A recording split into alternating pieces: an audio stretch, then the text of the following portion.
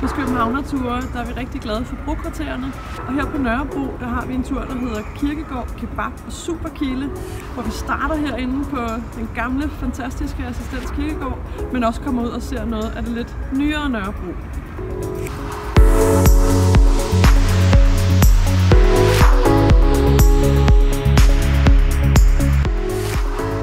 Assistens Kirkegård er et meget specielt sted, fordi det er på en gang er en oase for Nørrebros beboere. De laver picnics og går med deres hunde osv., men det er altså også stadigvæk et begravelsessted.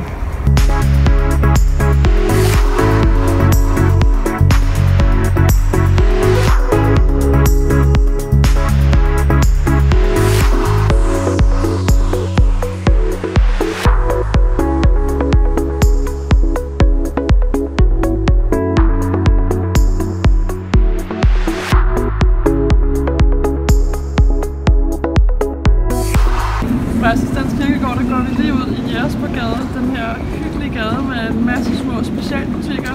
Der er en kasketmager, der er en garnbutik, der er antik, og der er en masse hyggelige caféer.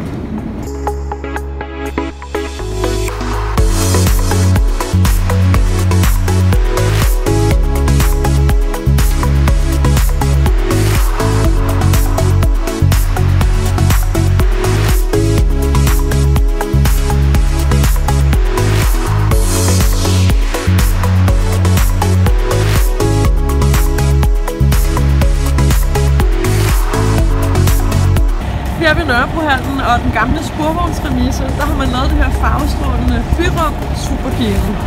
Alle ting, der jeg har, er hentet ind fra hele verden. For eksempel så er den her gynge fra Bagdad. Håber du har fået lyst til at komme med og høre alle de mange spændende historier.